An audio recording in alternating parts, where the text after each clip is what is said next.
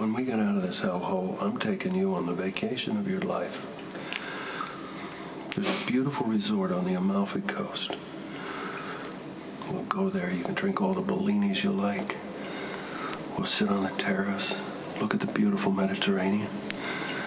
Then at night, we'll go up to our private villa with no distractions. What's the price tag? Price is no object. Because it's my dime. Well, we could go on my dime, but I think we've already established that flea-bitten shacks on the beach are not exactly your style. What, no comeback? No snappy rejoiner? What's going on? Are you all right? Huh? Open up!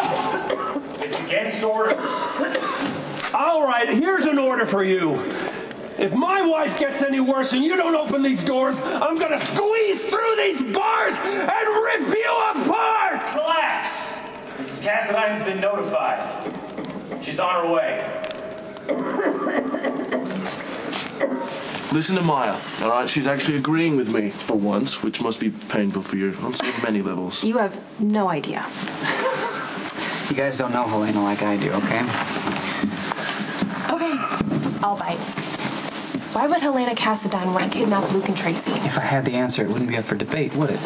Lucky, she has no reason to do it. She has plenty of reasons to do it.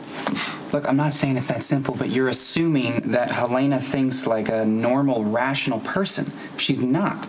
The woman is a psychopath, literally. Look, I know she's a psychopath, all right, but maybe she's mellowing with age, like a fine scotch, and she's looking forward to spending time with her great grandchildren. Well, if she is, she's planning to use them in some way to cause mayhem.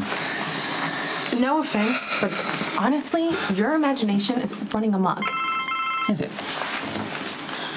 It's from Dad. And what's it say? He and Tracy decided to escape the madness and go casino hopping on a Caribbean island. They want to be left alone. There's your answer. Mystery solved. I'm still not buying this. You know, when you look this hard for such a sinister plot, I mean something's not right. Closer to home. So you really think this drug Steven's friend is developing could be successful? Well, I mean, it would definitely be a game changer for the industry, and this drug, you know, could help millions of people. Oh, kind of nice to think you could do well financially by helping other people. Spoke with my buddy. The window for investing is narrow. They don't want to break any of the SEC insider trading rules. Mm-hmm. And the investments have to be large. How large? $100,000 minimum. I know. I, I'm going to have to raid my retirement fund. I am not crazy about risking my nest egg, but the chances for profit are so huge. Even bigger if my friend's company gets swallowed up by one of these big pharmaceutical companies. Oh, I would love to invest, but I do not have that kind of money.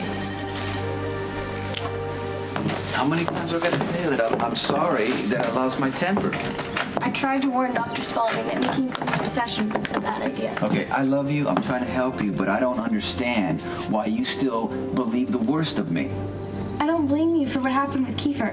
It was my choice to stay with him, and I I should have walked away the first time, but I'm just going to have to learn from this. Okay, but you still believe Johnny, right? That I abused his sister. No matter how bad you say she was, she didn't deserve the way you treated her. Okay, we're going around in circles now. And you know what? It's not helping anything here. So I'm gonna go ahead and go. I'll check in with you tomorrow. Okay?